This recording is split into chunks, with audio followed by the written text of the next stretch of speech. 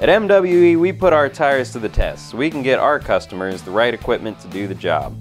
When traction is compromised, there are a number of different options available such as tire chains, steel over the tire tracks, or dedicated snow tires. Snow tires are costly, and using steel tracks or chains can damage paving surfaces. We believe the best solution for most customers is to use a set of multi-purpose tires that offer strong traction in snow and ice and will perform well on just about any surface. The brand new Camso SKS 753 tires offer some of the best snow and ice traction that we have seen. With responsive cornering and grip, they can handle some of the toughest situations.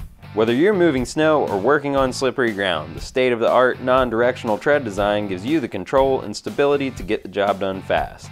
The deep treads, stepped lugs, and reinforced sidewall not only resist punctures and damage, but also provide good grip in mud when the ground starts to thaw.